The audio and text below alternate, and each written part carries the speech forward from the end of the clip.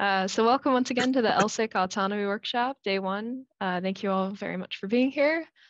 Um, and uh, we'll we'll go ahead and get started. Uh, so Christina, if you could move on to uh, the next slide. Thank you. Um, so the planning committee, I just want to give a quick shout out to them. They've been amazing over the past several months, planning every last detail of this workshop that you're about to attend. Um, so thank you so much to all the people listed here. They've been absolutely amazing um, in doing their job. Uh, next slide, please.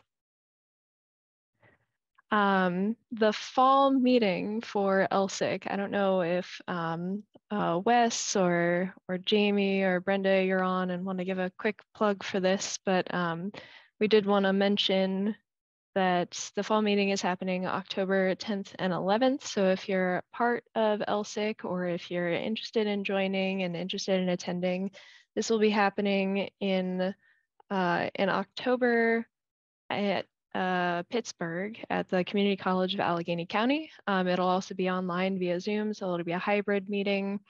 The abstract submission deadline has been extended to August 25th. So if you're interested in doing, uh, in submitting an abstract, please do so.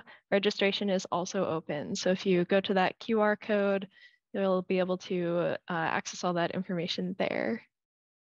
Next slide, please. Oh, one uh, one quick plug. Very excited. Please. For the, um, do you have the? Uh, I don't know. Not sure if the next slide is October twelfth, the transition workshop.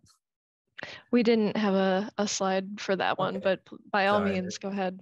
Yeah. So the the fall meeting October tenth and eleventh. On the twelfth, there'll be a transition to commercial lunar services workshop. You can find it. Registration is through the same uh, the same portal. Um, there'll be no abstracts for that third day.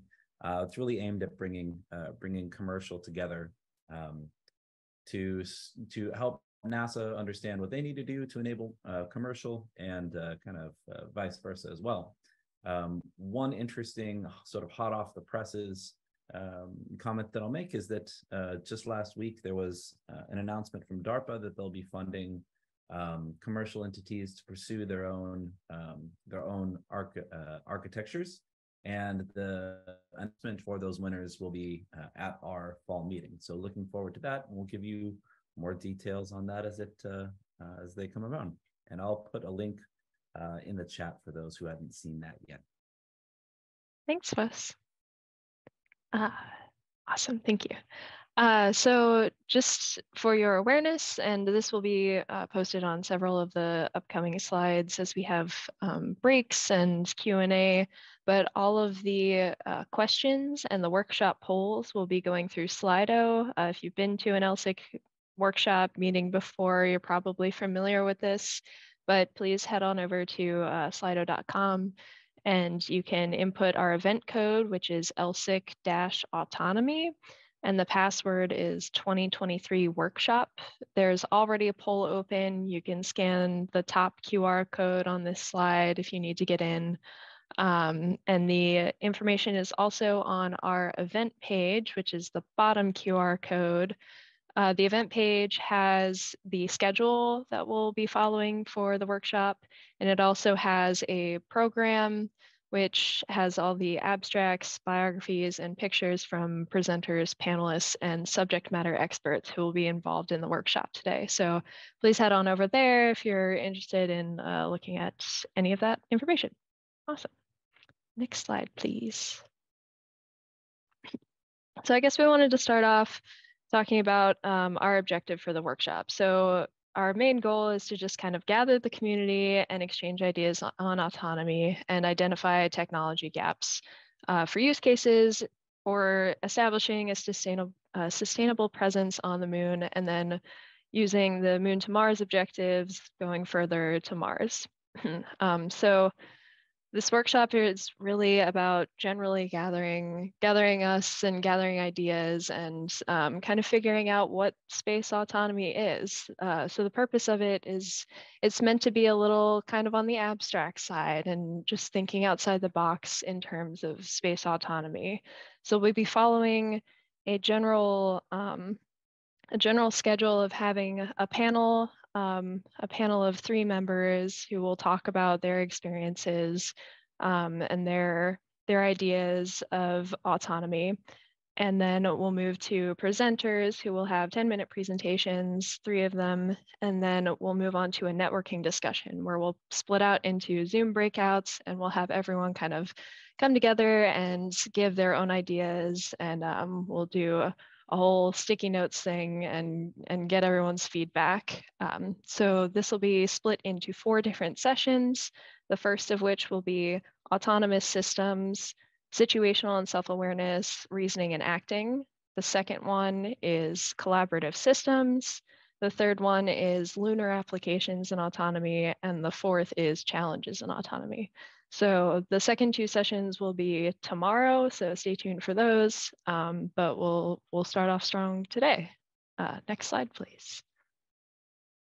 So I'd like to introduce uh, Kevin Somervill from NASA. He's the Deputy Program Director for Technology Maturation in, um, in STMD over at NASA, and he's going to give us a couple words of introduction for, for the workshop. So I believe he'll be uh, sharing screen. Kevin, if you're on. Um, awesome, thank you do. so much.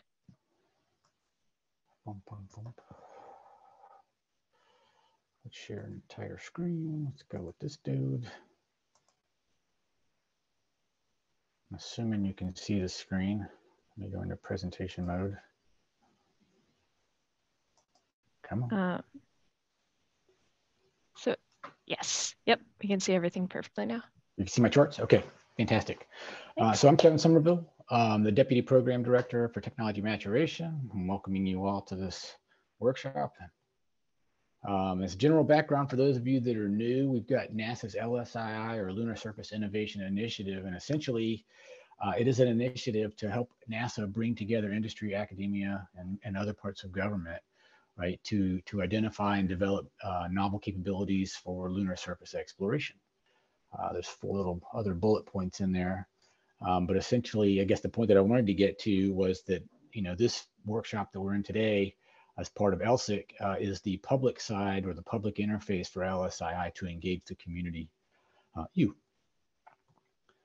LSII is structured around these six major focus groups. Um, and what you might notice is that there's not a focus group for autonomy. And fundamentally, that's because autonomy is required to address all of these. Um, for, the, for the envisioned future that we have for lunar surface science and exploration, I think each of these will depend on uh, some level of autonomy um, as we as we develop new capabilities, uh, both for robotic and human exploration. Let's see. Uh, so as we mentioned earlier, LSIC, uh, Lunar Surface Innovation Consortium, it's the public interface for LSII. Uh, it's hosted by APL. They're facilitating this workshop. Um, since 2020, we've had we have biannual meetings. We've got the six monthly focus groups, which are very active. We've got a tremendous support across uh, uh, the country. Um, and like this workshop here, we've had a number of different workshops, right? So if there are various aspects of it that are interesting to you, we, we wholeheartedly encourage you to uh, support them. Uh, as I mentioned before, since 2020, uh, we've had several, um, I guess we have meetings twice a year uh, with other workshops going on. Since then, we've enjoyed tremendous support from the community. Um, you know, the majority of our, our, our, participants are from industry. We, you know, behind that, we've got, you know, a little over a fourth of our community uh, coming from academia. And then we've got nonprofits, which we're hoping to figure out how to bring in more uh, from that community. Uh, and then we've got non-government, I mean, non-NASA government support. Uh, and they're across um, all of the United States and some of our friendly or friendly partners. Uh, in the last year, NASA's released, I think Pam Melroy presented this in the, in the mid-spring timeframe, the Moon to Mars objectives, which had been in work before that. Um, here's a little QR code if you wanted to go dig into that further. Um, but effectively, it sets the, the blueprint for sustained human presence and exploration throughout the solar system uh, and its four primary thrusts or uh, elements are science, transportation, and habitation, infrastructure, and operations.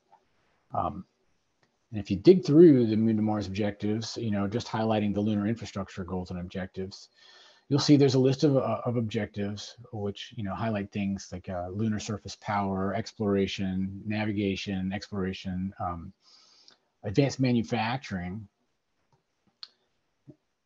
And if you study these charts, oh, I'm not sure why it duplicated.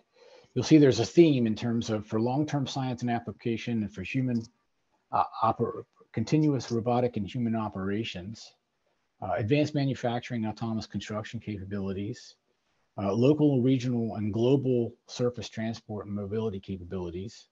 And each of these are highlighted with continuous human presence or continuous human and robotic presence, and even then resilient uh, continuous human robotic lunar presence. Um, so, you know, what these mean is that to, to realize the, I guess, the envisioned future for the moon to Mars architecture and, and lunar science and exploration, you know, autonomy is almost required, right? Um, it will permeate and enable our moon to Mars journey. You'll see it in all aspects of, of what we deploy to the surface.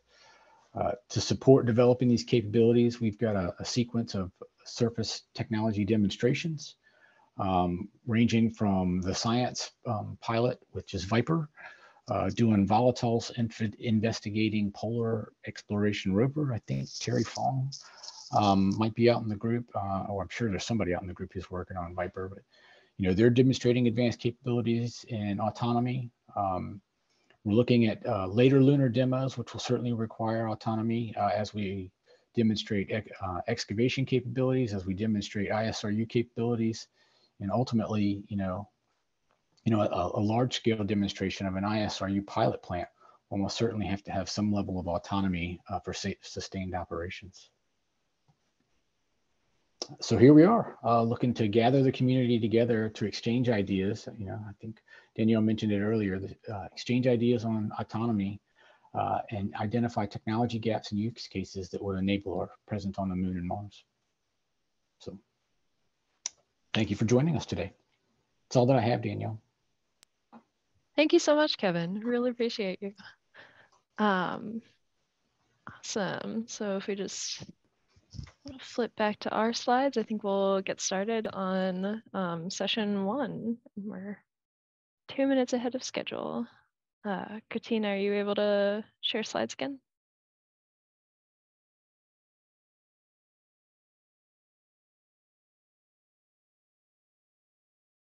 One second.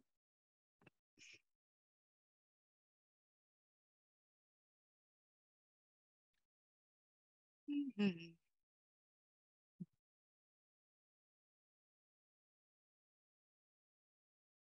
So while we're getting that set up, all good. While we're getting that set up, um, I want to introduce uh, Dr. Alhassan Yassin. He will be the facilitator for session one.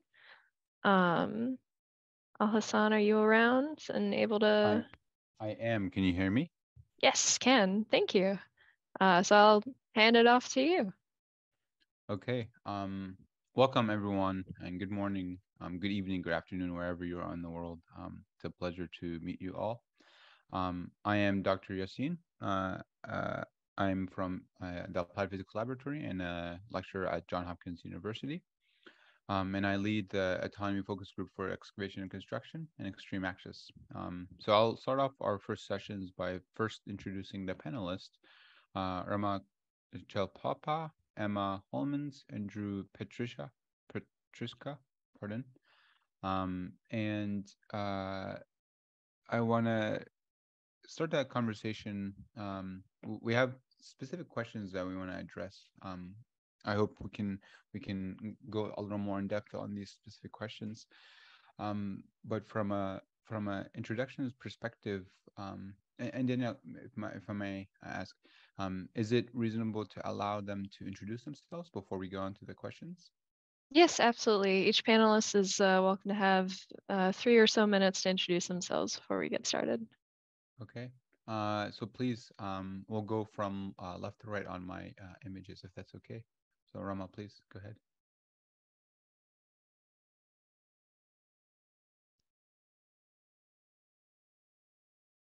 Rama, you're you're muted.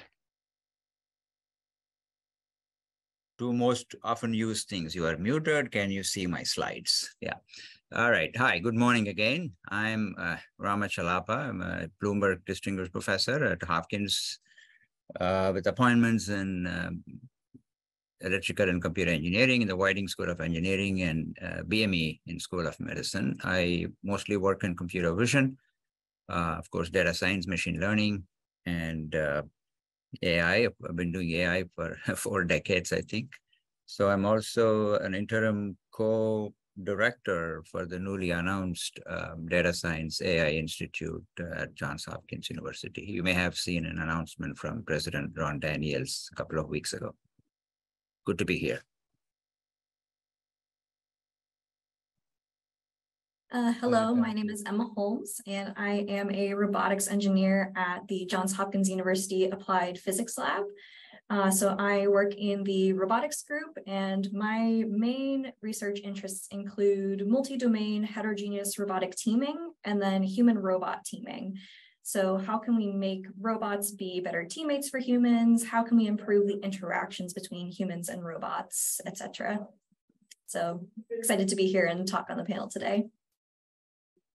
Thank you. Good morning, uh, Andrew Petruska. I'm a professor at Colorado School of Mines. I'm also the director of our robotics uh, graduate program. Um, I'm really interested in uh, robotics in pretty much every flavor, and uh, particularly in autonomy and control um, in, in extreme environments. Uh, brilliant. Uh, nice to have all three panelists. Um, and with that, um, the the the questions that uh, we're, we'll start to um, bring up, and I, as I went through these questions, um, a lot of them are near to dear to a lot of the um, stuff that I've been working on, and uh, I see there's a lot of AI, a lot of autonomous systems, autonomy. Um, so I, I really want to, um, if if it's okay, to start the the question perspective uh, and Daniel, we're okay on time, correct? So we can start going through the questions? Yes, we are. Okay, brilliant. Um, so the first question, um, and this is to um, uh, to all panelists. I think this is a very uh, good one. Um, and if, if you can say a couple words about it, will be great. So first question asks, how would you define autonomy in the most generalized um, sense? And keep please keep in mind um, with regard to the, the lunar surface itself. Whoever is talking is talking very softly or away from a microphone. Can you still hear me or not? There you That's go. better. Thanks, Alhassan. Arnhem. Yes. So for so just generally, um, how would you define autonomy in the most generalized sense? Um, and this can go to all three panelists. Whoever would like to go first, um, please go ahead.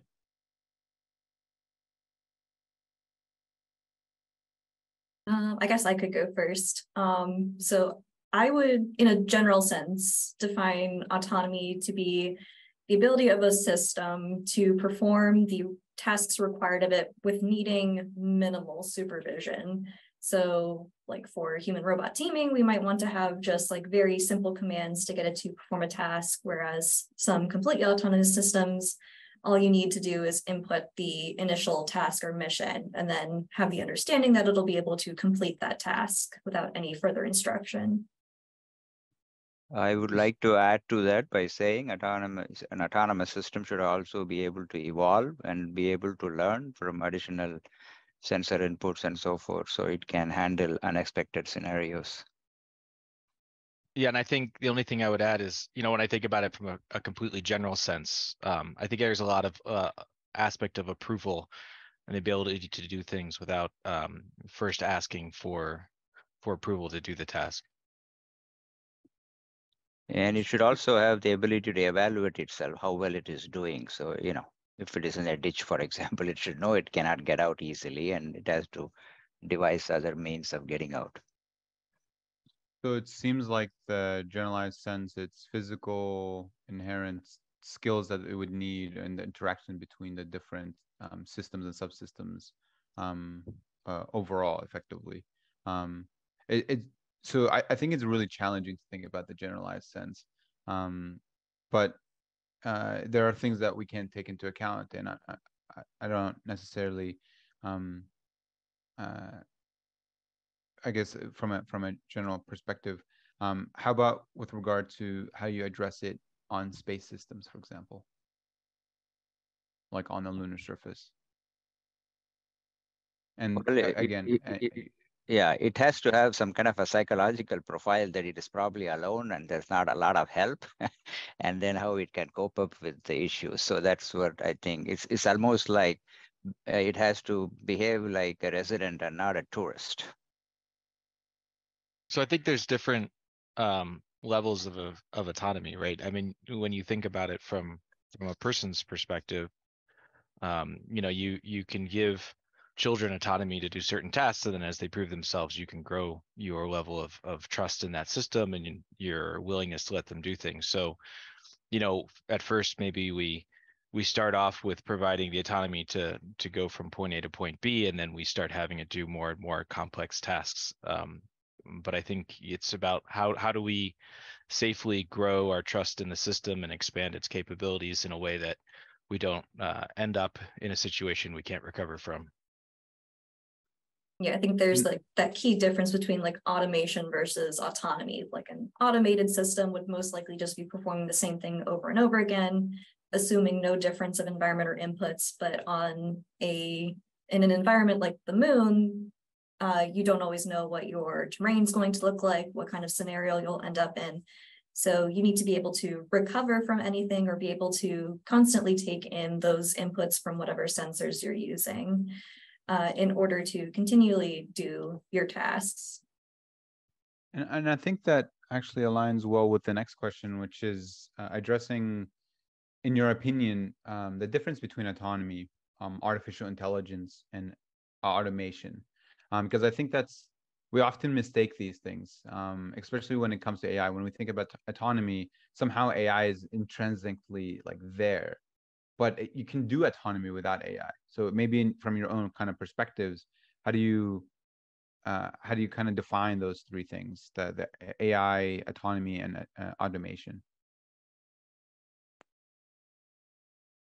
So I think I think for me, like you're saying, like autonomy is generally I think more of like the manufacturing for, or not autonomy and automation. You think more of the the manufacturing for where you have a specific task you're going to do over and over again, and there's less environmental disturbances that you might have to adapt to, or at least they're less complex. Um, when I think of uh, autonomy, it's it's the it's the harder problem um, where you have to adapt to new challenges and overcome things that you may the engineers may not have specifically foreseen and programmed. Um, when I think about artificial intelligence, I, I, see that as more of a tool to help us accomplish those goals, not necessarily um, one thing or the other, but one aspect of the system that would allow it to become autonomous. Yeah, I, I would agree with all of that. I think another thing to add for the difference between like maybe automation versus autonomy and artificial intelligence is the necessity to make decisions. An automated machine does not need to make a decision. It just knows that it needs to do the same thing over and over again consistently.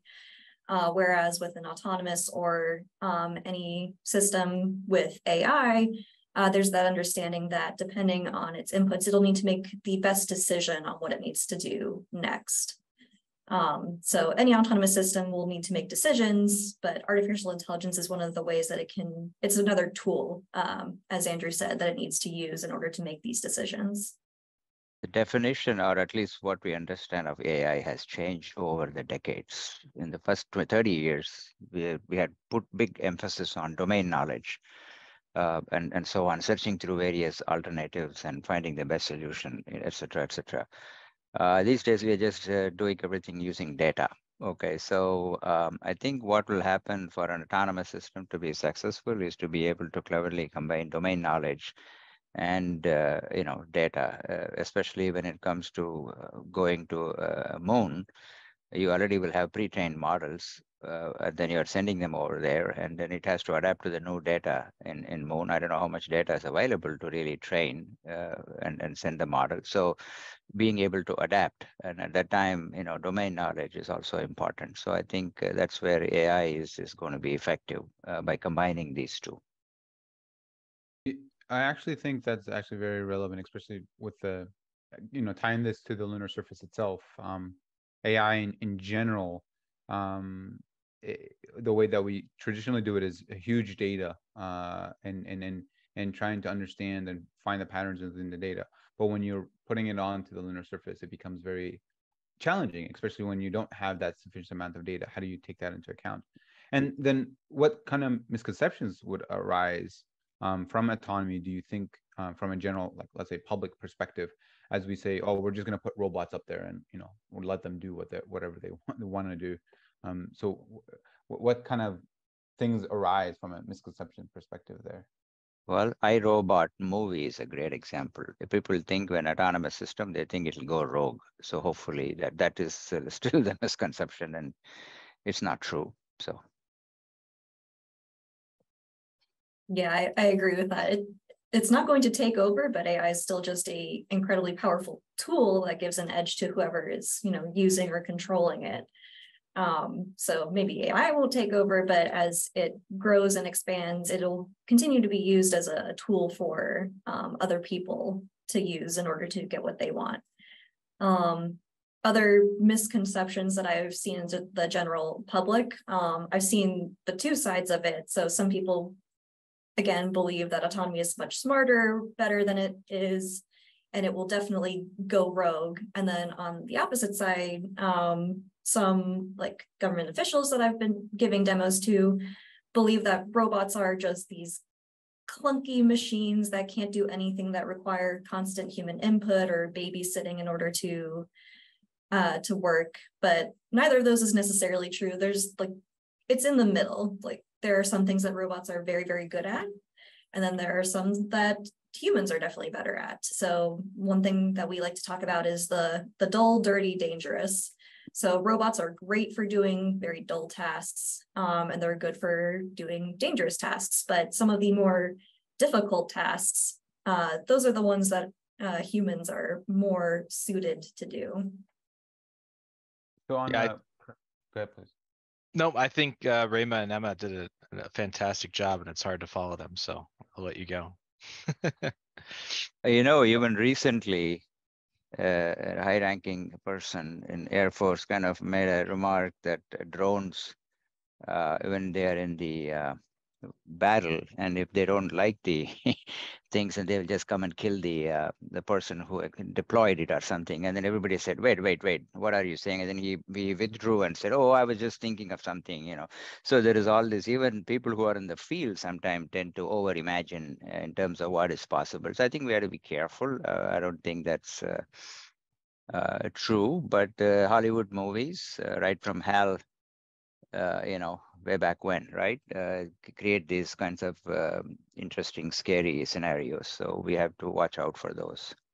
Mhm. So I, I, I think from um, at least the way that you're addressing them, recognizing the pros and cons of the such systems is definitely ideal to address, you know, let's say um, the different problem areas that we care for. Um, as as you kind of alluded to, they are tools. So then, from a autonomy um, perspective and recognizing the pros and cons, um, how do you see them being applied to space exploration? What what potential avenues um, uh, could be utilized um, from from what we understand of autonomous systems. Like for example, So I um, think- on spacecrafts or something. So I'll jump in and, and I'll, and I'll kind of end where, where Emma left off there with the idea that there's, you have the misconception on one side that's robots are going to take over the world, but then you have the other misconception that robots are much less capable than, than they could be. Um, and I think, you know, when you think about why is that misconception there, especially in our government, it's because when they look at a lot of the current autonomous systems that we have deployed, they do require rooms full of people to monitor and control. And there's very little uh, autonomy when you're looking at, you know, the, the motion of a, of a robot on an extraterrestrial surface. And I think as we, as we go forward and we make more capable systems and we get um, different hardware out there, we can start to offload some of the, the minutia of the driving around and how we get around obstacles, how we get to certain positions, and we start to reduce the number of people that require to be in the room. That'll start to change opinions on the on the government side on what it takes. Uh, my worry is uh, computer vision has totally is, is totally being dominated by deep learning. And deep learning works well when you have the right type of data, right quality of data. So that is going to uh, decide how successful um, you know these algorithms or systems based on deep learning will operate uh, in, in a data poor situation because we need annotations so somebody has to take care of that the other thing i worry about that gpus really uh, kill batteries so how, how are we going to maintain a continuously running computer vision system uh, that runs on deep learning because that's all we do these days. We don't do anything else. And and most GPU servers are uh, you know tethered to power big powerful uh, uh you know energy sources. So after a five a half an hour, will the robots say, "Oh my God, I can't process anything. I don't have any power." So that I think is worrisome. Edge computing is talked about, but you know you can you know I don't know how that's all going to work out. So for me, computer vision by betting everything on deep learning is making it very difficult for autonomous systems that rely on computer vision to work on, on the moon because power is a big, big challenge. Yeah, uh, pulling kind of that same thread, um, like the issue of swap is incredibly important for space systems. You need to have a very lightweight system that is able to last a long time, uh, just depending on um, how often it's able to see the sun and recharge, or um, on something like the, the moon or Mars, if uh, your solar panels get uh, too dusty, you your uh, your efficiency is going to go down with respect to collecting energy. Um, so when you have these very uh, low swap machines that you need, um, you also want them to be almost a, a multi-tool so that you only have to send up a few at a time. So something like the, the Mars rovers, they're basically giant rolling multi-tools. But with uh, these incredibly complex machines, there are more ways that they can fail. Um, so incredibly uh, complex uh, mechanical systems. Um, that's why they require so much more um, like babysitting behind the scenes um, in these rooms full of people.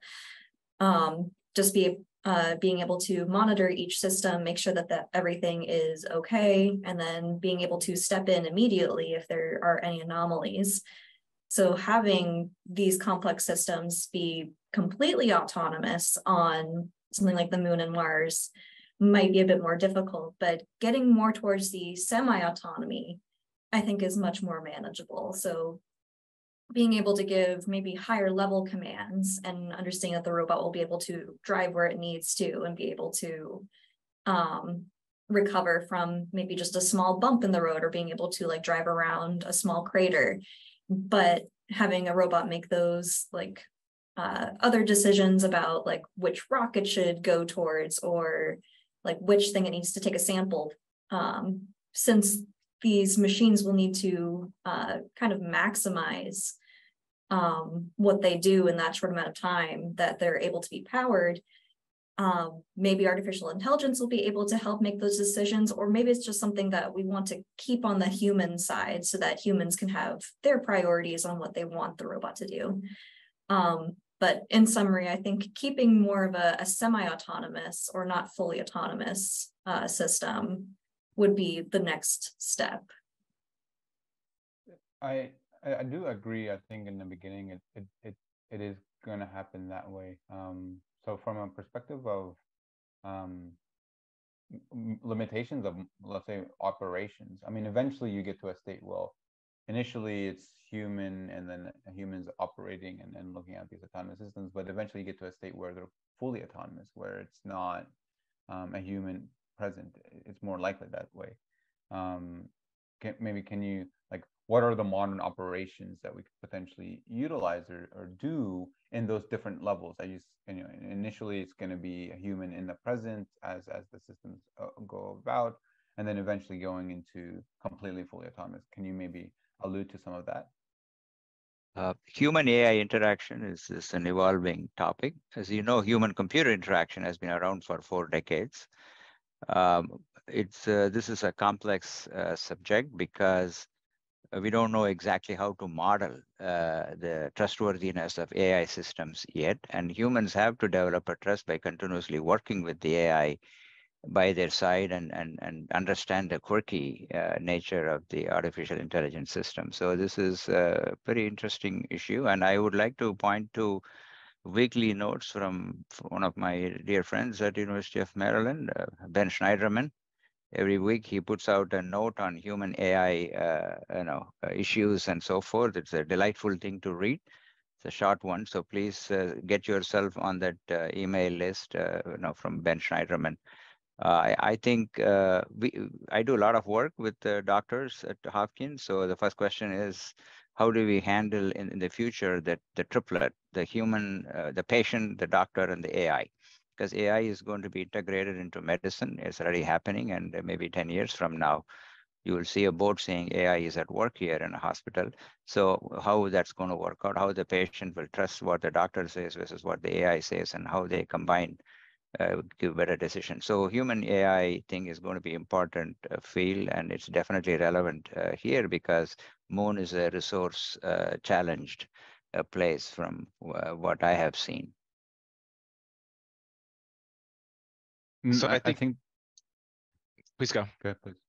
No, no, it's okay, please go. I was gonna say, you know, I, I kind of switching perspectives. I think that, you know, when I think about AI and autonomy coming into these systems, especially on the on the interface between people doing the task to people controlling the machines to to people watching machines do the work.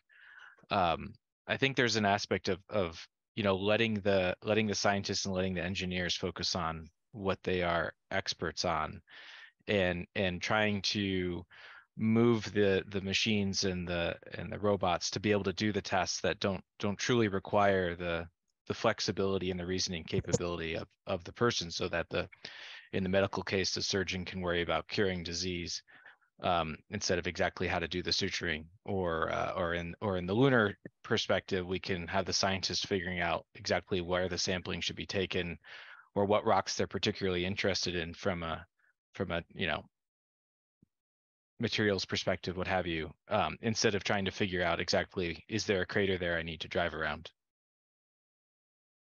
Yeah, I think just understanding the capabilities of the system is the best way for you to have trust between you know the scientist or the user and the the autonomous system so understanding what the autonomous system is good at and then letting it do its job um, and then that also frees up the mental load on the human user side so that they can focus on whatever they need to do. So then from a design perspective, um, is it limited on what we can potentially conceive of them or, or problems that we, we allow them to explore? Are there capabilities that are outside of that perspective? Can we develop such things? Um, where, you know, as you kind of alluded to, when you're on the moon, for example, you can't take everything into account, right? Like our limitations are what we can conceive of that that is present, let's say there. Are is there maybe areas where they could potentially think outside of our the design operations that we we, we allowed them? I think maybe eventually that that adapting to situations for which the engineers didn't foresee is, something that could happen. But I think initially when we're thinking about um, how reliable the system is and whether or not we trust the system, especially on data-driven systems, outliers are always uh, question mark areas. Um, I think would be more more important to make sure that we bring in the people at that point when we have encountered a novel situation that the robot hasn't been, you know, versed in. Just as just as if you're thinking going back to the medical world, if you have a, a, a medical person being in training, if they come into a novel situation, you want to have a more senior person in the room that can provide comments on the best way to alleviate that particular issue, right? So they have to have guidance. Uh, and I think from a robotics perspective on the moon or or anywhere, if, if there is a novel situation, you probably at first, until we get much more robust tools, you need to have somebody that can come in and provide that guidance. Yeah, I think more and more, you know, 30 years ago, we had two kinds of learning, supervised, unsupervised. Uh, these days, we have a whole spectrum in the learning axis, uh, weakly supervised, semi-supervised, self-supervised, and so on. So we have to have the robot be able to uh, learn by as it collects more data and more, uh, you know, uh, and so forth. Just try to update its state of mind, so to speak. That's the only way it can survive in a tough place, right? So self-supervised learning is where we have to uh, put some emphasis on if the robot has to survive on the moon. So then what what are the most important, let's say, breakthroughs we need um, from autonomous systems? Um, for example, energy sensing, actual compute software. Yeah. What, uh, do you perceive? well, uh, being able to do with very little uh, computing. So in the sense, learning from small data, small samples is, is very important. So it should, not continuously rely on getting more and more data. So we have to develop methods that can do well from small data. We call it few shot learning in computer vision. So we need to develop that. And also we need to do a lot of OODs, out of distribution detection. The, the, robot has to know, well, this is not something I've, I've seen before. So what is it? And then it kind of has to be able to collect whatever data is needed to kind of cope up with it, right? So it's, uh, um, yeah, so that those are the things we need to know. Surprises, uh, being able to detect uh, things that have not been modeled before and then how to uh, proactively collect additional information so it can overcome that um, and so on. Those are the, you know, the learning, adapting is is very important as part of learning, right? So that's the, so we have to put those sorts of uh, abilities in, in robots. Yeah, I agree with that completely. Just speaking from experience, uh, needing to collect data for, for example, like an aerial vehicle, uh, that needs to do object detection. There's a lot of data that exists for uh, looking at an object from the ground level and looking straight at it, but not a lot of data from an aerial perspective or an eagle eye view looking down. So needing to collect all of that data in order to do uh, like object detection training on uh, just takes a lot of time just on our side for the data collection, uh, the data labeling and then the training itself. And then there's no guarantee that you're going to end up with a, a good model at the end of it. Um, so being able to develop few or uh, zero shot learning um, in order to allow the uh, robots to be able to see things from either new perspectives or just completely new objects uh, would be, you know, a game changer. Um, and then additionally, from a pure mechanical point of view, um, just increasing um, like overall swap. So being able to uh, have smaller, more powerful batteries, um, like that would be huge, uh, both to increase runtime for robots, being able to decrease their size, um, and then again, being able to use um, GPU capabilities without completely draining the system. Like all of those would be huge in the, the robotics world. I agree with. I agree with both all those comments. I think the only thing I would add um, to this from a more like general autonomy perspective, what do we need to do? I think when I think about how people operate in unknown environments, we have we kind of have this this supervisory perspective that allows us to um, estimate both both risk and confidence. So how risky is an action that we might take and how confident are we that we can execute on that action and i think having you know trying getting to a point where an autonomous system can can evaluate for its sequence of actions both the both the the risk of that sequence and the and the confidence in execution on that sequence based on prior successes or what have you um, would go a long way to to being able to provide trust and then also be able to identify and alert uh, for assistance when when assistance becomes required because the risk is too high or the confidence is too low or the combination is poor. Um, so I think beyond just computer vision, I think we need to develop that for the, for the actual actions that the robot's taking. So then maybe can we allude to a little more on, let's say, the specific roles of teleoperations versus, versus, let's say, fully autonomous robots for different space exploration activities? Maybe can you allude to, or like break that down a little more?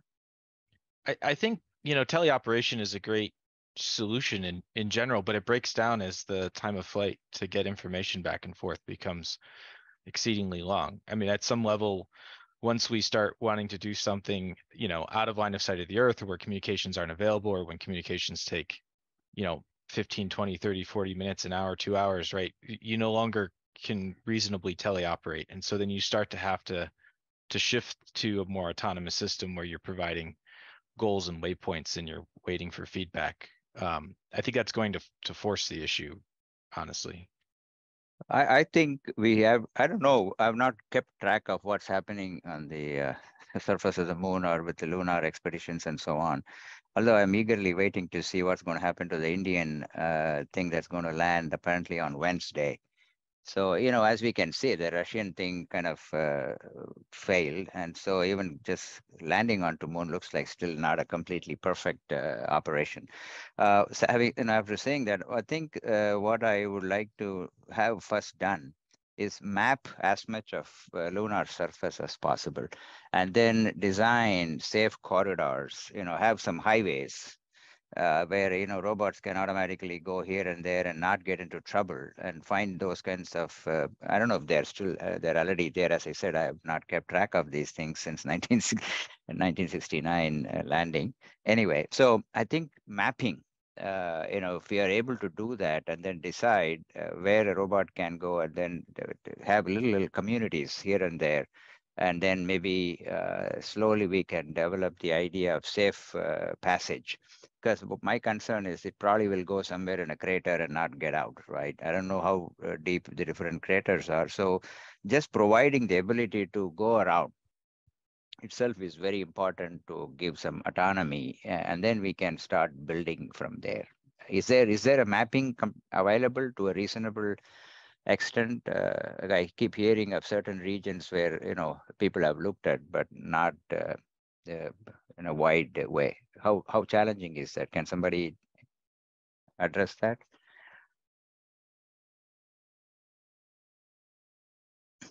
Are you asking about mapping from orbit or mapping, uh, you know, from uh, surface assets? Yeah, so, yeah, sir. Uh, I want to send a robot that the role is just to go and, and, and map and then kind of figure out where everything is, you know, over a period of time. So we have a good understanding of uh, passable corridors. Uh, and then we can start putting some landmarks and things like that. So landmark guided navigation, because if it gets lost, it's it's going to be you know wandering around. I think there's uh, huge precedence for this on Earth, of course. Um, I mean, that's enabled so much um, yeah. mm-hmm. infrastructure and capabilities to our vehicles that it is actually um, appreciated, probably. Uh, but there's been a huge, huge investment um, by by industry uh, as well in that yeah. area, and so it's it's very, um, I think, um, practical. Yeah, even so having that, it mapped down to um, maybe like five, 10 centimeters would be incredibly useful. Yeah. Um, and then from a teleop point of view, like using something like model predictive control, where you can you have your entire system modeled, you can input what you would like the robot to do, see in simulation what it would end up doing, especially if you have the area mapped, so you'd be able to see where it would end up. And then if you like where it ends up, press go and then um, have reasonable confidence that it'll end up where you had wanted it to go based off of the simulation. Um, that is one way that like even at like APL, we've been developing uh, ways to do um, robotic control with like high latency, high time uh, delay. Um, so that's one way that it could be done, but having things mapped out so that the robot can continue to make its own decisions would of course be incredibly useful. So, so then, I mean, we talk about like maybe highways or monuments or things that it references off of, let's say the robot um, or, or sub robots or systems. So then in the beginning, effectively in in terrains that it's never seen before as as we you know allude to like continuously learning to or adapt to the situation. Do you foresee that potentially a human and a, a robot present to try to figure out these very complicated behaviors initially? And then as you get let's say more uh more able like highways or, or things that are safer for other robots to do that becomes fully autonomous. You don't need a human kind of tell yeah. it. I think that's a good idea. I think humans can help to uh, initialize things. Um, you know it will be more uh, accurate and and so on. And then the once we set up the the, the safe uh, way to move around and so forth uh, then other tasks can be focused on. But right now we need to kind of be able to do that. Uh, otherwise, you know, it's it's going to be wandering around and get lost, or, or, it'll just stay very local, so it won't be able to explore uh, further. I, I, when I think about terrain relative navigation on the moon, one of the the concerns that I have is relative to the non-diffuse lighting conditions, and that depending on the the relative locations of things, the shadows are completely black and the the surfaces are very bright, and the the relative shapes of the the ranges that you're looking at may not maintain the same kind of uh, consistency from the perspective of the camera as they do on Earth in a more diffuse setting. So I think, you know, there's some there's some interesting challenges there that we're going to need to to overcome when we try to to map what we do on Earth from a terrain relative navigation and other aspects to the lunar surface, but I think there's definitely a path, one that will be yeah, that's, learning. That's why I keep harping on domain shift, because even uh, you know, in simple change of sensors can sometimes drop the uh, reduce the performance of computer vision algorithms. We have seen you change a camera, then you have to retrain, fine tune, and things like that. So when you uh, do the preloaded, uh, pre-trained models and uh, uh, send them over to moon, you know, you're definitely going to see a drop in performance. So more and more, uh, there is research on uh, how to start off with large pre-trained models uh, and then you know how to tune them for multiple tasks and so forth. So this is uh, some going on in vision and nlp and so forth. So it, that's important. Domain shift is is a killer because we depend so much on data. When the way the data comes changes performance is not great. Mm -hmm. Yep. Um, so it, uh, another aspect. Oh, go ahead, Andrew. Another aspect is infrastructure and um, things like passive uh, fiducials, something like RFID, whether that be uh, deemed um, acceptable to leave those uh, along these routes um, could certainly help uh, make a system, a vision-based system, more robust if we could uh, use something like that um, that is more repeatable um, and, and less um, susceptible to uh, environmental changes as we go.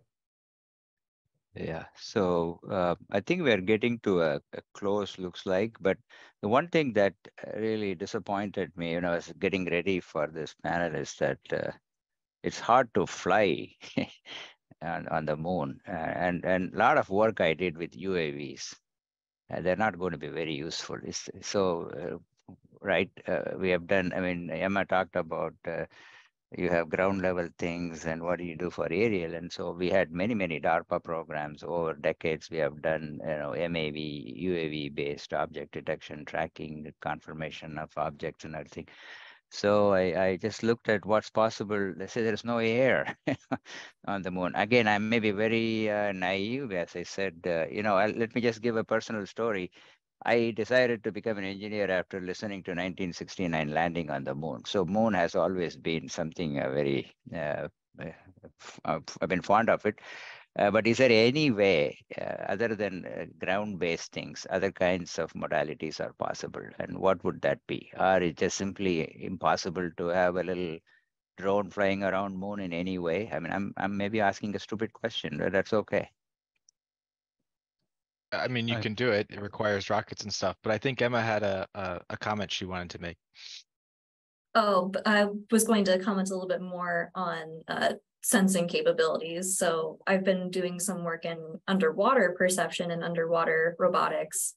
And um, things like cameras or LiDAR don't work as well underwater, but sonar does. But unfortunately, because of the lack of air up in space, sonar doesn't work in space.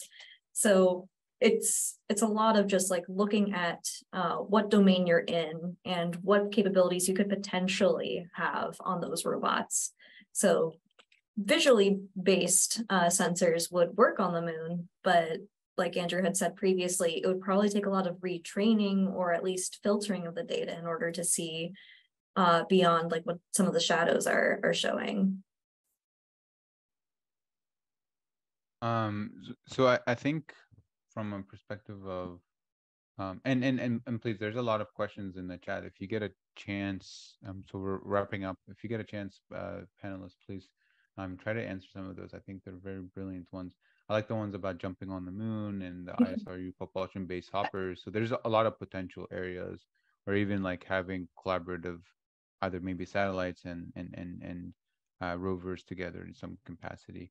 Um, but with that said, um, I really appreciate um, uh, your presence um, here and, and and the conversation. I think it's a really brilliant uh, conversation. And and if there are more questions that maybe weren't addressed, um, please put them in the Slido. We will make sure to send those out to the panelists um, as as they um, as as they get more time. I, I, hope you can answer some of those questions in the Slido.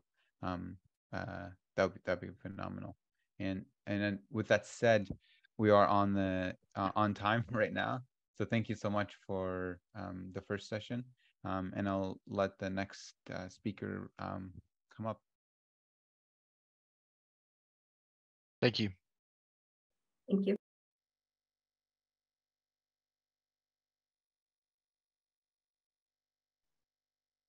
Wonderful. Um, so I think we have some uh, a break right now. Um, so yeah, yeah. So a quick coffee break, just 10 minutes. We'll see you all back here at 11.05. There is a poll open in Slido. Um, it's different from the one uh, that has been out for now. So we'll have a different poll, different like single question during each break.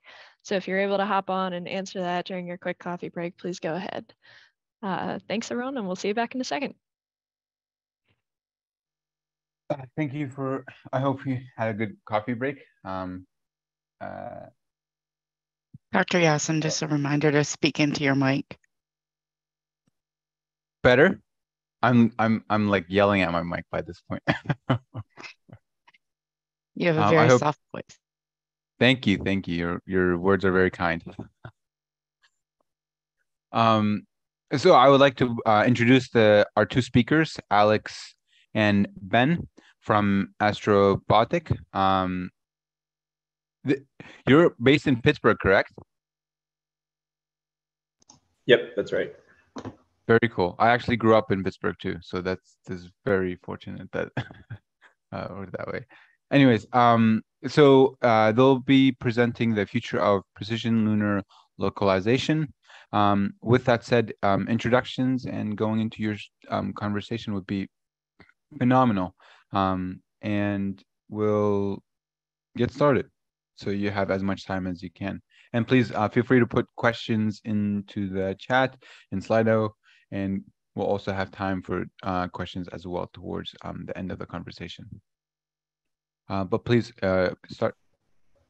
Are, are you guys okay to share screen, or would you like us to? Yes, yeah, I can share my screen. Awesome, thanks.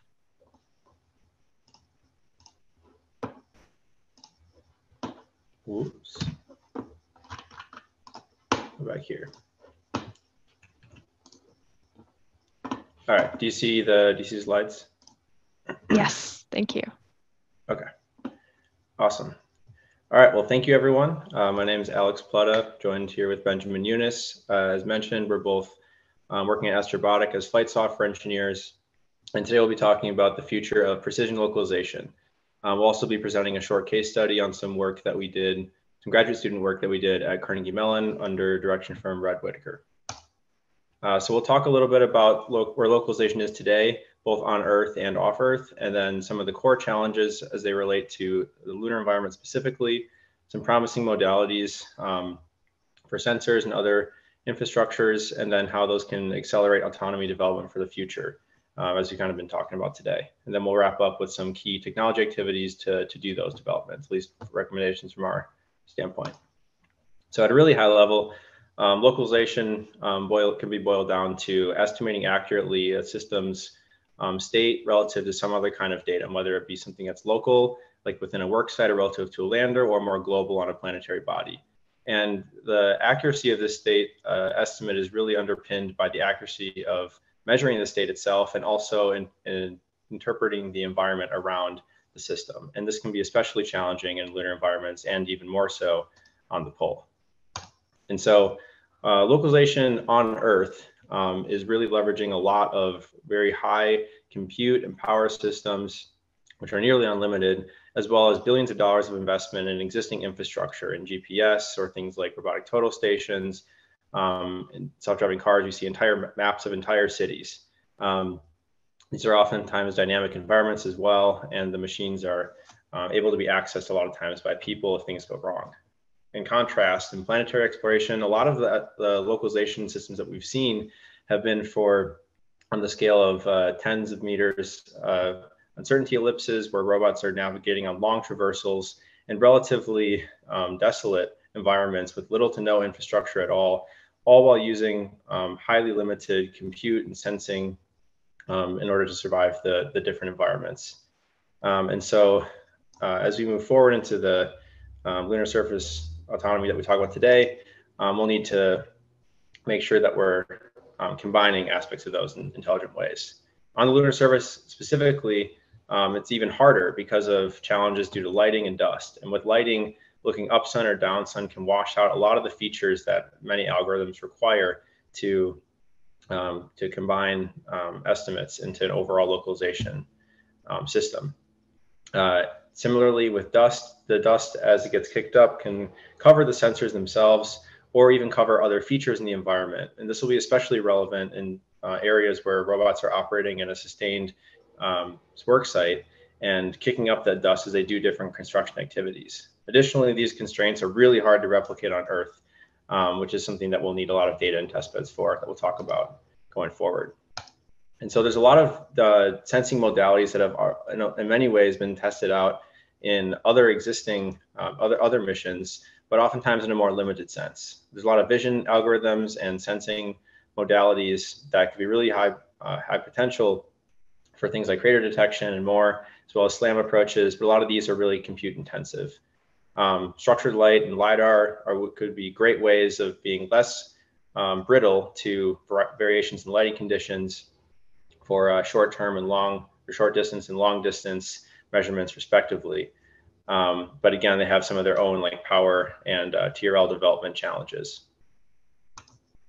Fixed assets could provide a really great way to extend from a per mission uh, localization system and build out something more as, as, like the position, navigation, and timing architecture that we talked about in some of the lunar, lunar surface goals. Um, things like radio beacons and uh, passive and active visual fiducials could be really powerful, as could laser rangefinders, um, also called total stations, which are extremely precise. They off, offload a lot of the onboard compute to systems and are very robust to dust and lighting conditions. So this will be kind of focus of the case study that we'll uh, that Ben will be talking about in a moment here. Um, there's also lots of opportunity for um, orbital assets like GPS, but these will be much um, more of an investment to, to establish, but could also be maybe more easily accessible to a variety of different um, different systems. Um, and I'll, my slides are loading. I'll pass it off to Ben to talk about that case study. Awesome. Thanks, Alex. Um, so let's say you're on the moon um, and um, you're trying to get stuff done on the lunar surface. So you might have some rectangular or circular areas which you want to control um, like topography on. So you might want to make a um, like maybe a landing pad or maybe a road or a parking lot um, or even some area to build service infrastructure on top of. Um, so you have a lot of different options um, um, when you're talking about localization. Um, one of the ones that we wanted to highlight was um, using a robotic total station, um, which is basically um, uh, laser ranging for uh, local precise localization. So you're trying to work within this work site, you're trying to cut, you're trying to fill, you're trying to compact or trench or install pilings, whatever you're doing, um, you're going to need to know where you are in this work site. So just as a diagram, Alex, um, if you go to the next slide, um, if you are this robotic cube and you're trying to do something useful um, on the lunar surface, um, if you have a, that cylinder there um, providing you full XYZ position down to the millimeter, it can be super useful as you're navigating around this work site. and uh, this not only lets you know where you are in relation to the work site, lets you know where you um, are in relation to other surface assets, whether it's chargers, um, whether it's keep out zones, um, um or uh, other useful uh, data comes for free like SLIP um, and uh, embedding detection and other things like that um, from such a precise uh, um, localization estimate. Um, and what's great about this is if you do have that cylinder um, providing you, you know, laser ranging uh, data, um, it could be mobile. So as long as you have access to three or more control points, these are really just prisms. They're just dumb prisms in the ground. as long as you have line of sight to three or more control points, um, uh, you can move that cylinder around um, anywhere. Um, and you can chain these control points together to um, basically do extremely precise localization over long distances. Um, and like I was mentioning, this is, um, you can throw this on any modality. So dosing, grading, compacting, scraping, whatever you want to do. Um, science, uh, it's all pretty much for free. so we looked at this um, when we were working with uh, uh, Red Whittaker, uh, Carnegie Mellon, um, when me and Alex were grad students, and we used uh, this robotic total station approach um, to do localization to try and um, uh, modify lunar-like terrain. Um, so the goal was start with some unstructured terrain, um, go and perceive the terrain, upload some desired sitemap to the vehicle, and then let the vehicle um, do the all, all of the uh, desired um, controls, estimation, mapping, etc. Um, and we did some really cool uh, optimization-based material planning to figure out where material gets pushed. Um, but ultimately, what we're highlighting here today is uh, uh, this uh, site-wide millimeter precision in XYZ. And you can also get roll, pitch, and yaw from this as well if you do some initialization, um, but XYZ is the most um, precise. Um, and uh, yeah, we played around with a lot of different sensing modalities, and really, um, the the total station was like the nail in the coffin. It just it just completely um, uh, outperformed every expectation. And what that allowed us to do when we're talking about robots working in local areas, especially in lunar contexts, is um, uh, it allowed us to make assumptions in other subsystems and really um, robustify things. So um, it was awesome. And you can see in the bottom there the visualization of um, the crater getting filled by a robot um, as we're traversing around the crater there. Um, and next slide, I'll show a quick video. We won't play the whole thing. We'll kind of skip to section here. But uh, here our vehicle is um, uh, kind of just driving around our like 500 square foot play sand uh, lunar lake uh, test bed. Uh, that, that's sort of a joke. and you can see uh, in the bottom left video there, the total station tracking um, the retroreflective prism um, on the remote sensing mast, um, uh, giving us positional data to our robot. Um, on the right and the left video, um, or sorry, on the on the two right videos, top and bottom, you can see um, the, the, the vehicle's view from the remote sensing mast, and then a view underneath the vehicle as we have this uh, blade autonomously moving up and down. and you can see some visualization in the top corner there. Um, but the idea was, hey, we want to prepare this site, so let's start with a crater and see if we can flatten um, a crater with roughly the um, uh, with a depth to diameter ratio that makes sense uh, on a length scale that's possible for like a 20 minute demo here. So um, we were able to. Um, Sorry, about one minute left. Sorry. Okay. Okay. Um, yeah, we were able to uh, to demo that technology with the robotic total station pretty effectively. Um, so talking about localization tomorrow, there's lots of awesome upcoming missions that are demoing like uh, multiple uh, surface assets. Um, we're going to have to work in proximity to landers and other surface assets. Um, we're going to have to fuse sensing from many different robots together um, and work alongside humans and other surface assets um, as autonomy starts to evolve on the moon.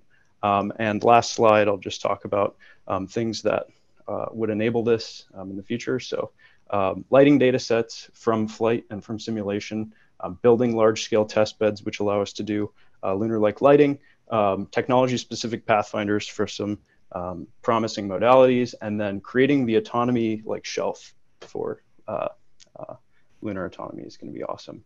Um, and uh, yeah, that pretty much wraps it up. Thanks for uh, listening to our talk. Thank you. Thank you guys so much. Um, it was a fantastic talk. And uh, I'd like to redirect any questions that you may have to the Slido. We'll have a group Q&A question um, after all of the presenters have gone. Uh, thank you guys so much. Awesome. thank you. I'll uh, stop sharing here. Uh, just a quick uh, shout out. Um, uh, to mention that Astrobotic, which is connected with to the Moon uh, Moonshot Museum, will be part of the LSIC fall meeting. Uh, so tours to Astrobotic and the Moonshot Museum will be in Pittsburgh, are free and within walking distance from the meeting itself. Um, so please definitely check that out um, during our fall meeting itself.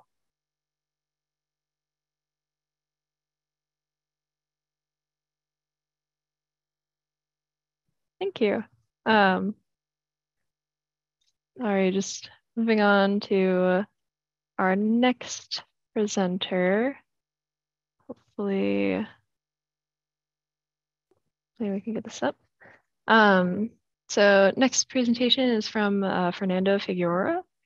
Uh, hopefully I pronounced that correctly. I'm so sorry if I didn't. Uh, are you are you online?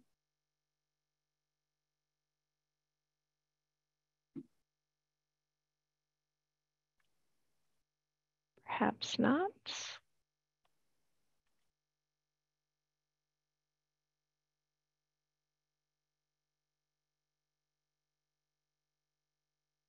Okay, uh, while we figure out some of those technical difficulties, uh, we will move to Jim Bellingham. Are you online for your presentation? Yes, I am. Wonderful. Thank you so much. So uh, Jim is coming to us from Johns Hopkins University, and he'll be presenting on autonomous systems, humans, and reliability. So I'll let you uh, share screen and take it away. Sure. Let's see. There we go. And project. So I assume you can hear me and see my screen now? Uh, yes, looks great.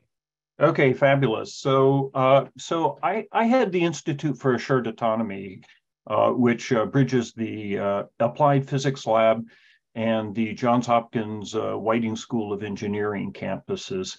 And so I'm going to be talking uh, just very briefly about some intersections between activities that we have going on in other domains uh, and as it relates to space. Uh, and finally, just mentioning that we are actually hiring uh, faculty members in uh, in the space domain for uh, for autonomy assurance. I'll, I'll, just say, by the way, that uh, that my background is actually marine robotics, so I, I come at this from the perspective of somebody who's operated systems in hostile environments, just not space. spent about a year of my life at sea at various points. So first of all, this whole joint venture activity between the Applied Physics Lab uh, and the Whiting School, uh, what is that all about? Well, it, it turns out that, uh, that there's a, a, lot of, of course, basic research going on on the academic campus uh, that connects across to, uh, to important problems that, uh, that both need to be done for the nation and which the Applied Physics Lab has specific skill sets uh, for carrying out in a, uh, uh, a more engineered sense, if you will. And a couple of examples are right here. Um, the COVID portal started on the academic campus uh, really as a graduate student project and uh, eventually became sort of our window on COVID. Uh, that was hardened by the Applied Physics Lab and really turned into a portal and data sets that the world relied on through there. And then the Parker Solar Probe depended on materials that came out of uh, a laboratory on the academic campus, but uh, obviously turned into a spacecraft, which uh, right now is out there uh, doing amazing things right next to the sun. Uh, I've been at the I've been at Johns Hopkins for two years, and in the process of uh, learning this fabulous academic environment, one of the things that I've be become familiar with, of course, is the medical school. And uh, Rama mentioned this, and I'll touch on it again, but there's a lot to learn from autonomy in the medical domain uh, that I think applies uh, to the space domain. And I'll just say that in the process of working with those folks, uh, I discovered the mental health uh, group, and it turns out there's some fabulous work going on in this domain uh, that, that relates to the interaction of autonomous systems and humans as well. And I'll touch on that. So first of all, uh, let's just talk about uh, you know kind of the, the, the area that most of us will would read about in the newspaper every every day, uh, uh, which relates to assurance of autonomy, and that has to do with the advent of autonomous cars. Um, you can see that in this domain, the, the assurance problem is really kind of the central problem that they're dealing with. Uh, it's the highest cost aspect of their development. Uh, it's the bottleneck, really, in moving this from uh, the laboratory to the market. And there was this marvelous little study done by RAND where they looked at how many uh, miles of driving would it take to really demonstrate statistically that an autonomous car is better than a human in terms of avoiding fatalities. And the number they came to was close to a billion miles. Um, so the problem is, is, is assurance if you don't have a if you don't have clever ways of testing it, it can become uh, this intractable problem. And, and, and we can see in the autonomous car world uh, the cost of that. Uh, if you don't get that right, uh, in fact, uh, these vehicles have enormous problems as you begin to put them on the roads, largely because of the numerous edge cases. So, um, how do you think about this? Well, one way to think about the autonomous car is, is a completely self reliant vehicle. You put it on the road, it has perhaps maps, but it depends on its sensors to, de- to, to determine what's going on in its immediate vicinity. Down at the lower right hand corner, you could imagine an environment where this autonomous car is networked into the environment around it. It's talking to other cars which are on the road. And so as a consequence, it has much more information at its disposal. Of course, it's dependent on that communication and the network, but it can see around the corner. It knows what the car next to it is going to do. And in between, I'll just say that uh, that we have some autonomous vehicles. Uh, we're actually operating them at the Applied Physics Lab uh, campus, uh, and those are providing test beds for us for experimenting uh, between those two continuums. Uh, these these these two different endpoints, I think, relate heavily to a wide variety of uh, environments. I'm very familiar with the fully autonomous platform from the ocean environment where communication is uh, uh, uh is uh, usually not available. Uh, and here at Johns Hopkins, uh, this pervasively sensed environment uh, for me is increasingly focusing on the operating room, where we work with the Armstrong Institute, who are very concerned with assurance of basically surgical procedures. And in their case, uh, they're thinking about these environments where you have a surgical suite, it's completely sensed. Um, and it allows an AI to observe what's going on and perhaps uh, perhaps, uh, perhaps help uh, the medical team uh, both sort of keep track of where they are in the procedure and avoid uh, uh, some of the more egregious problems that that keeps a, a, surgeon awake nights. things like wrong side surgery. there's been an enormous amount that we've learned from those particular interactions.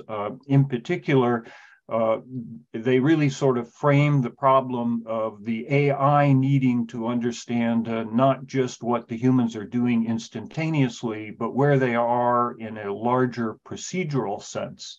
Uh, what are they trying to accomplish? Uh, are they doing the right step at the right time?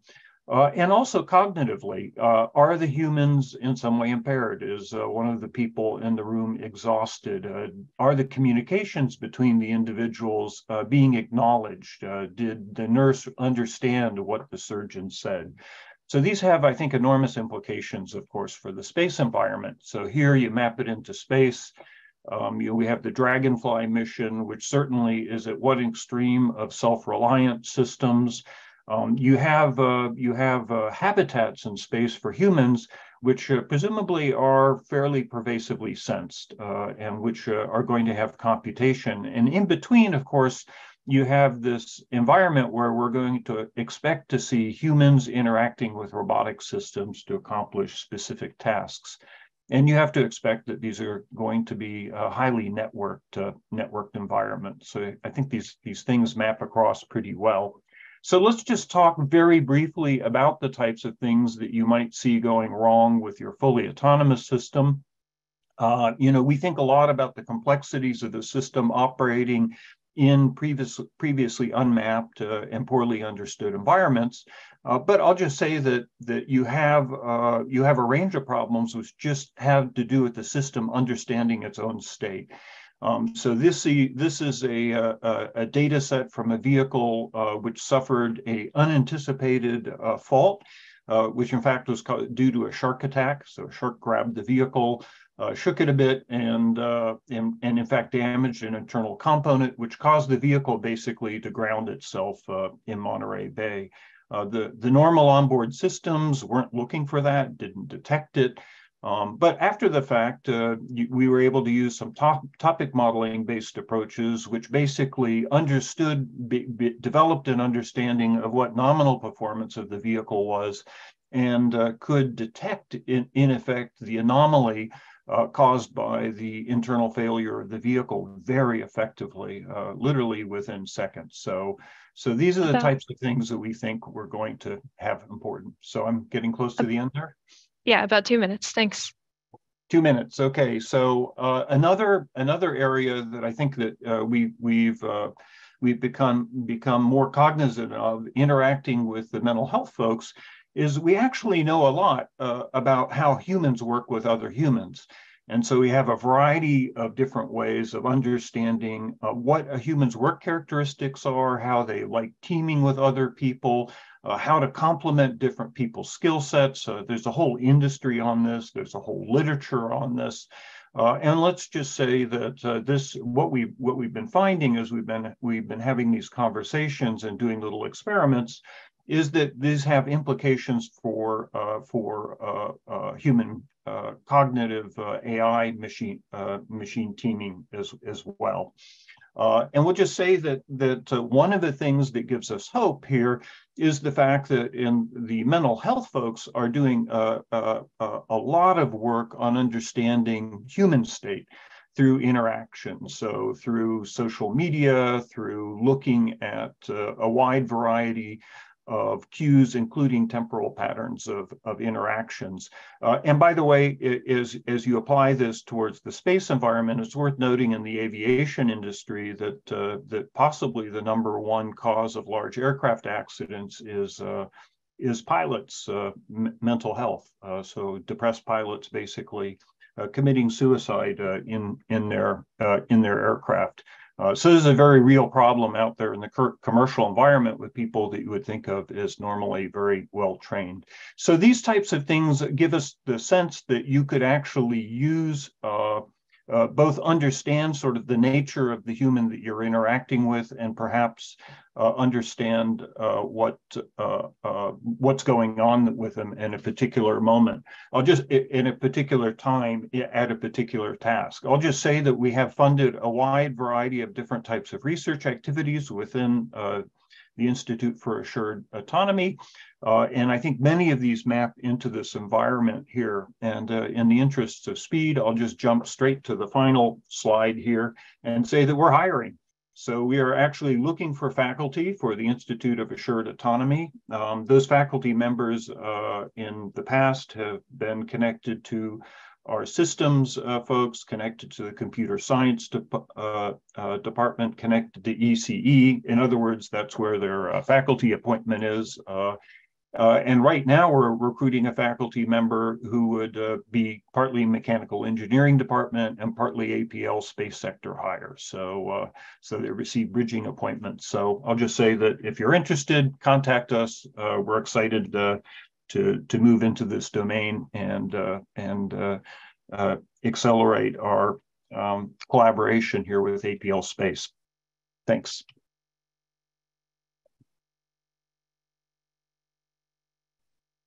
Thank you so much, Jim. That was a fantastic presentation.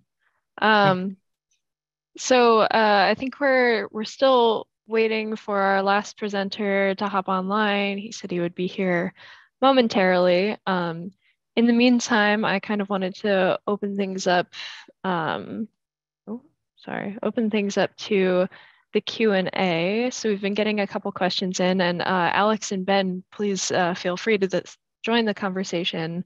Um, one of the first questions up was, um, how should computer vision algorithms be adapted to account for stark lighting contrast? So I know this is particularly an issue on the moon, having that um, that really stark contrast of lighting, very very light and very dark. Um, so if if any of the three of you are able to hop on and answer that question, that'd be great. Yeah, well, I'll do my best to answer. Um, so there are some approaches that kind of just specifically um, um, adapt themselves to low mm-hmm. lighting. Like in the literature, you see people trying to do SLAM in the dark with very low lighting and um, um, other attempts that kind of um, uh, parallel what people do for underwater computer vision too. Um, but the truth is, is there's not, in my opinion, there's not really a great way to do it um, uh, to adapt computer vision for low lighting. Um, you can um, maybe shine a flashlight in front of you or uh, maybe look um, um, uh, maybe not in a traditional computer vision approach like directly in front of the vehicle but maybe different angles. Um, but there's not really a great answer um, to my knowledge and uh, it's a very hard problem. So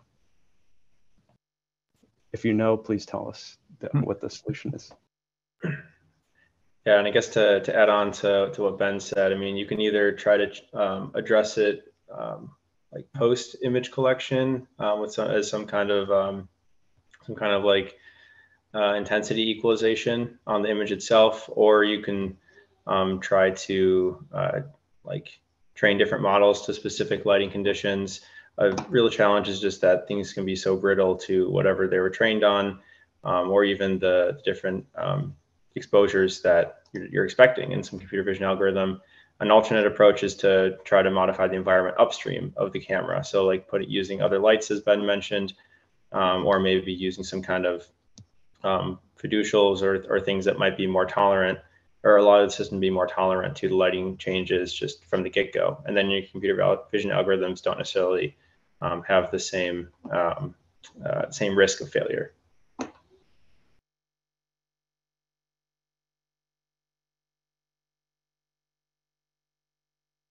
So would it be okay? Yeah, would it be okay if I jumped in and answered yeah, a few questions absolutely. in meeting chat? Please do. Yeah, so I saw one there that uh, that talked about uh, the statistics uh, that I referred to from the Rand report about uh, about proving that your autonomous car is better than a human. Um, the problem there is that humans uh, humans actually are pretty good drivers from a fatality perspective. So uh, they have a 1.4 uh, uh, fatal accidents per 100 million miles driven. So what that means is if you really want to statistically prove that your autonomous car is better than a human, you have to accumulate more than 100 million miles. And, and of course, if that's going to be the way that you demonstrate your systems, every time you change your software, you have to drive another multiple of that. So, so this is this is kind of the challenge, uh, if you will, uh, with uh, with comparing yourself to humans is that many of these tasks humans are very good. And uh, and and so we have to become a lot cleverer in breaking down the problem domain and understanding uh, understanding failure modes and demonstrating that specifically um, the capabilities of the system are better than humans in those individual spaces so, uh, uh, so the testing regimen turns out to be a really, really big part of this uh, on Earth as it is in space, if you will. definitely, definitely agree. Wonderful.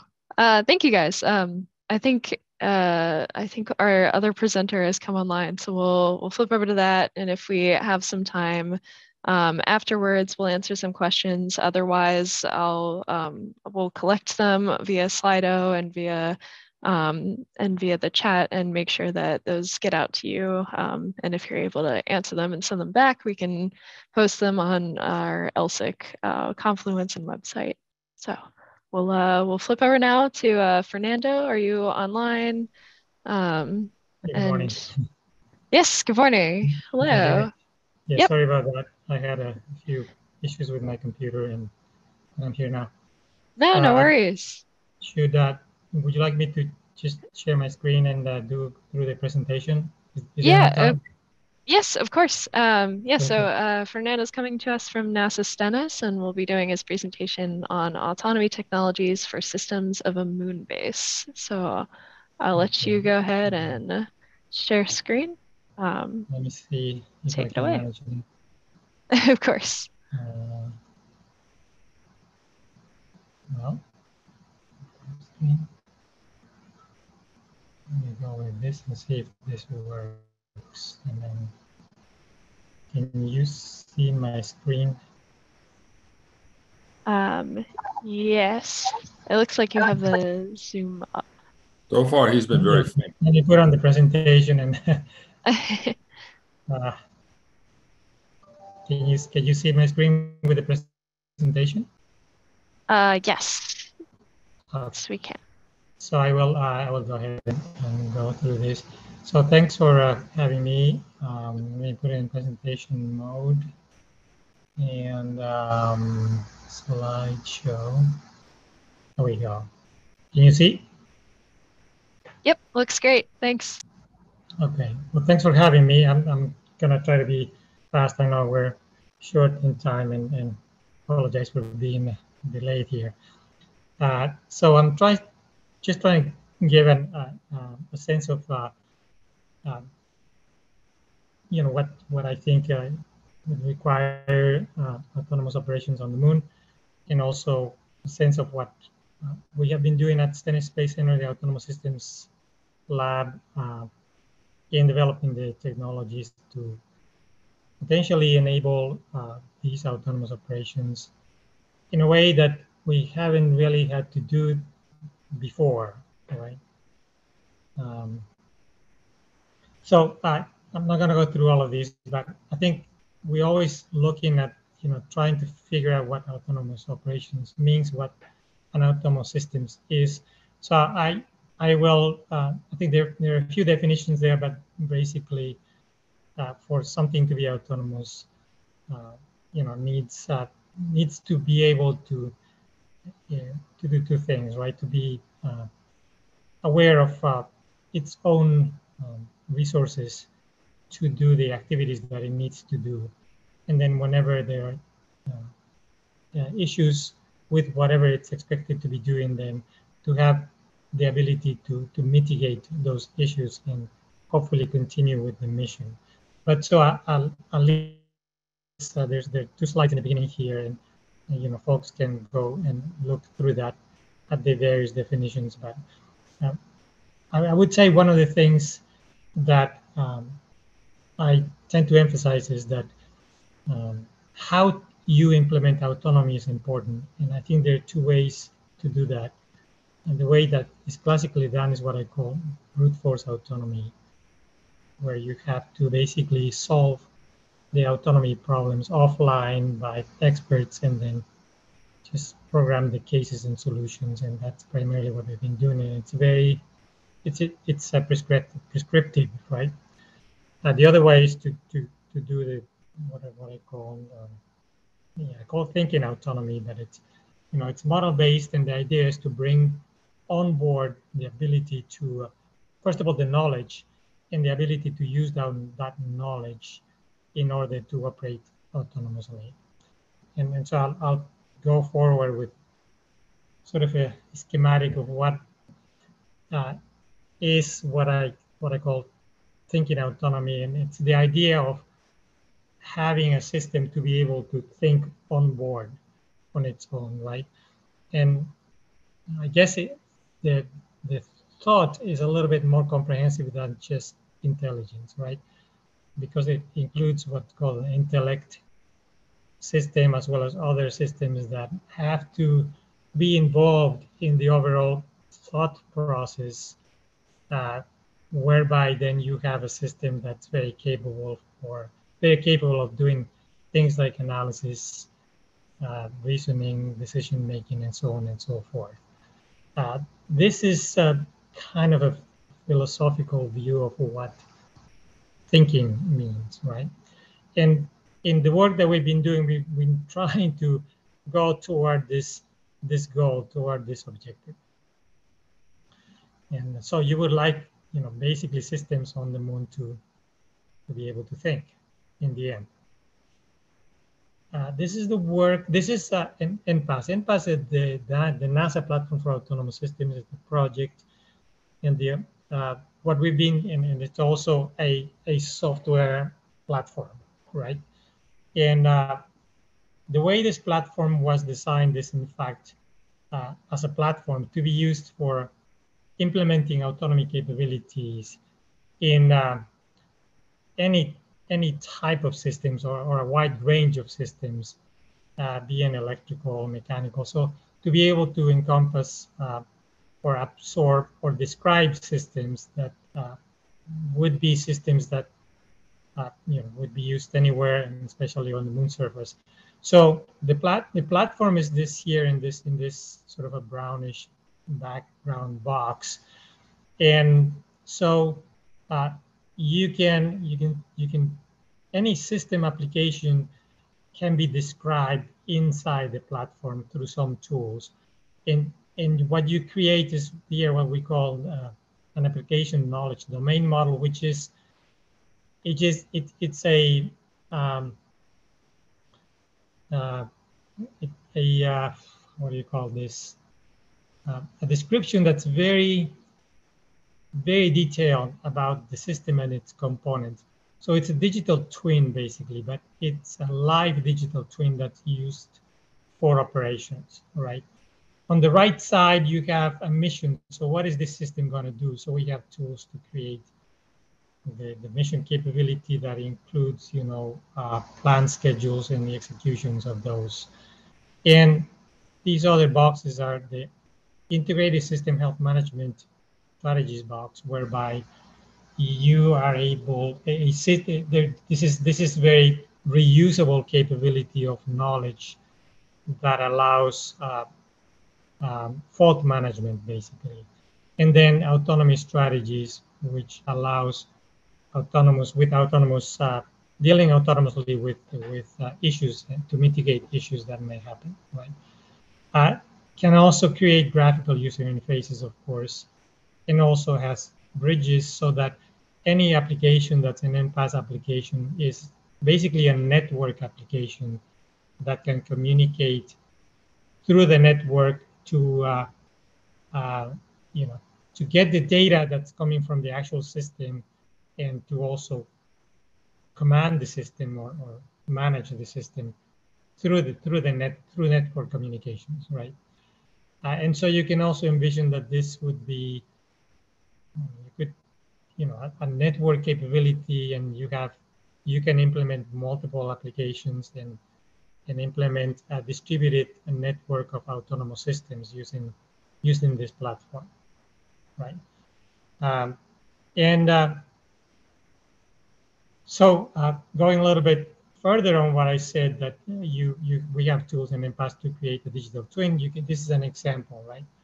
So uh, here you can see in the images, the top is the actual schematic.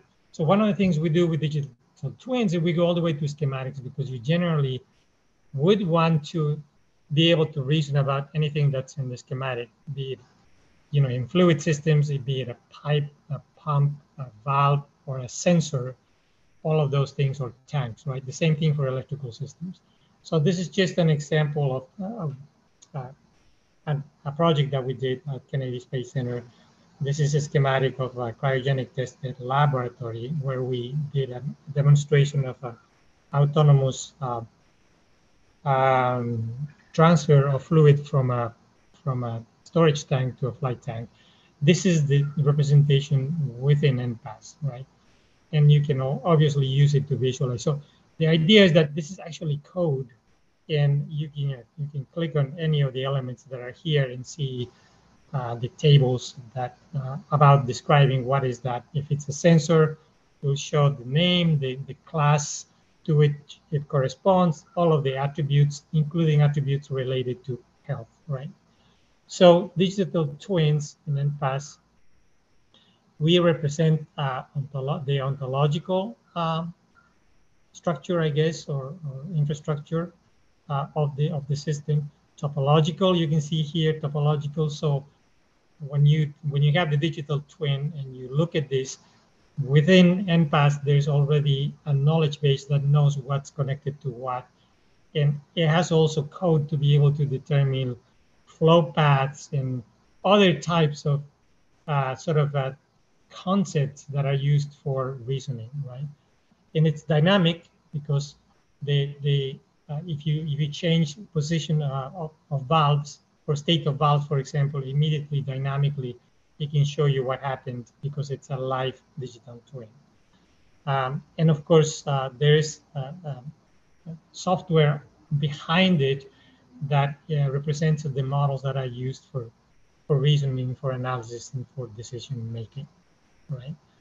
Uh, to give you a little bit uh, uh, a sense of what it is, what we create when we do a digital twin, you know, I, I, go back to SysML, which is the language that's used for creating, uh, you know, com complete descriptions of systems, right?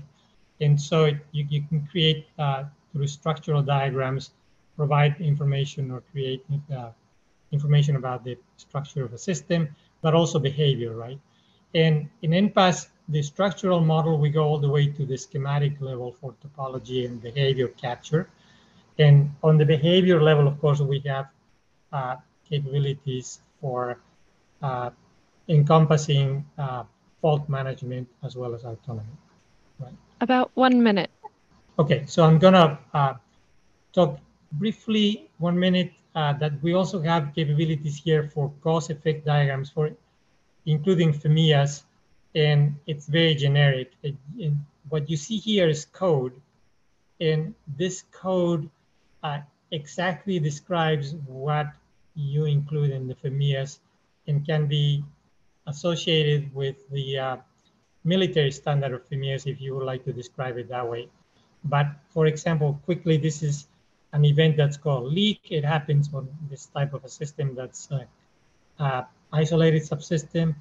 Uh, if a leak happens, any subcomponent that's in that um, subsystem that's in that's isolated will be suspect of leak the same thing, the, the, the isolation valves will be subject of leak. So all I want for you to look at here is to see that this is code is a graphical code and I can capture in very, uh, very good detail what would be a FMEA. And then in real time, uh, yeah, this is more FMEAs. And then in real time, you can, you know, you, you can create in real, the, the generic FMEA when an event happens on, on a specific object, it creates a specific FMEA that tells you what is what's failed, what is suspect, and so on and so forth. So it can do the diagnostics and the effects. And what's shown here is actually, again, this is different. This is a the electrical power system of, of Orion. Uh, this is the digital twin in NPAS. And you can see that uh, is, you know, is driving, I guess, is managing the the actual uh, um, power system. In this case, it was a simulation. Uh, this is the digital twin where you can have visibility as to what's happening. When an event happens, it goes into a, um, a cause effect diagram. And then for a specific element, it creates its own cause effect diagram. I'm going to stop there because I'm sure there's more questions. I will share the presentation so that you can go further and, and see more more capabilities that that we have. So anyway, thank you. Thank you so much. Wonderful presentation. And uh, yes, to that point, we'll be asking all the presenters if they're um, able and comfortable with uh, sharing their presentations, and we'll post them online with Confluence um, when uh, after the workshop is over. So uh, thank you so much to all the presenters. In the interest of time, um, if you could please put all of your questions onto Slido, we'll try to get them out and then get answers to those. Um, and uh, in the meantime, Christina, if you want to hit the slides again, uh, we have another lunch poll for you all. Uh, I believe this one has two questions on it. Um, yes, awesome. Thank you. Uh, so if you're able to uh, hop on there and answer those questions real quick, you have an hour for lunch um, or a little less than an hour. So we'll see you all back here at 1245 and thank you very much. Um, Thank you. Uh, I hope you all had a great lunch. So um, at this point, I think we'll switch on to our uh, networking discussions. Uh, Christina, if you have that slide available, um, or I can share it as well. But in the meantime, Alhassan, if you want to introduce the, the next breakouts, please go ahead. Okay, um, we'll have two breakout rooms, um, three, uh, for both of the breakout rooms, there will be three Zoom um, uh, sessions that you can attend. Um, so the first breakout room will be situational and self-awareness. Um, it has to do more with environmental, situational, and self-awareness. And then the second breakout room will be reasoning and act and acting, so trust um, in in these systems. And this has to do more with the logic and reasoning and human interactions with autonomous uh, systems itself. Um, here are the six Zoom uh, rooms, um, and you can see they're breaking up into two uh, sections. One is the situational and self-awareness, and then the reasoning and acting for the second. Um, the subject matter experts um, will be Tom, myself, uh, Terry, John, Bob, and Matt. And then we'll have uh, and Julie, and then we'll have facilitators um, also present there. Um, so as we uh, go through the the breakout rooms itself, um, please keep in mind the the different sessions. You can enter different rooms um, as you as you see fit. The conversations will be very interesting. Um, we did it this way so it's easier to have small groups that can get into depth um, with the different topics itself. Um, with that said, uh, let us start with uh, breakout rooms. Uh, so you should see, you should be able to um, see the breakout rooms at the bottom of your screen, if Yep. I'm not mistaken, correct? So, um, so we're gonna just open up the six breakout rooms and you'll be all randomly distributed into them. If you would like to join the opposite breakout, just flip yourself into either rooms one, two, and three, and or four, five, and six, depending on which one you'd like to join. Um, if, oh goodness, sorry. Uh, um, yeah, so uh, logistically, we're just going to enter your facilitators will send you links to Miro boards, which we'll be using to collect information. If you haven't experienced Miro boards yet, that's fine. Your facilitator will be able to explain those. Um, and if you have any questions, uh, feel free to direct message me or any other uh, co-host and we'll, we'll get you to the right place. So with that said, Christina, are you able to start the breakouts? Awesome. Cool. See you all on the other side.